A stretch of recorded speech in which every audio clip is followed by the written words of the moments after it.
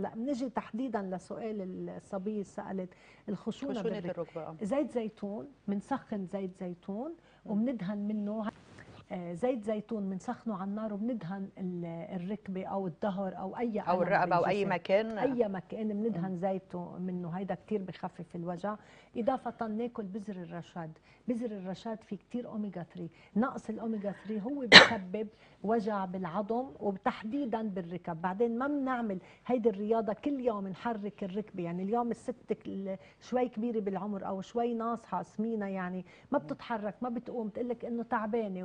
وهيدا كله بيعطي ضغط على ال- الفقرات بسبب وجع ظهر ضغط على الركب الوزن الزايد كتير له تأثير بهيدا الموضوع. ناكل البامية البامية من الأشياء الرائعة جدا لخشونة الركب. رائعة جدا جدا يعني. إذا نحن أخذنا منها لأنه هيدي المادة بتقوي الغضروف. المادة اللزجة اللي بقلب آه. البامية.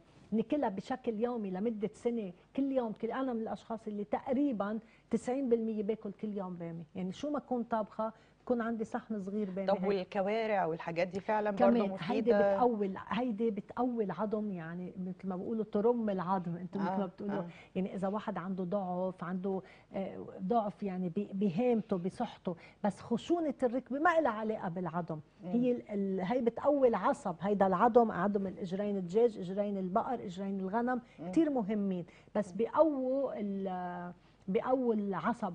بس نحن للغضروف بناخذ هودي الأشياء بندهن من زيت القلم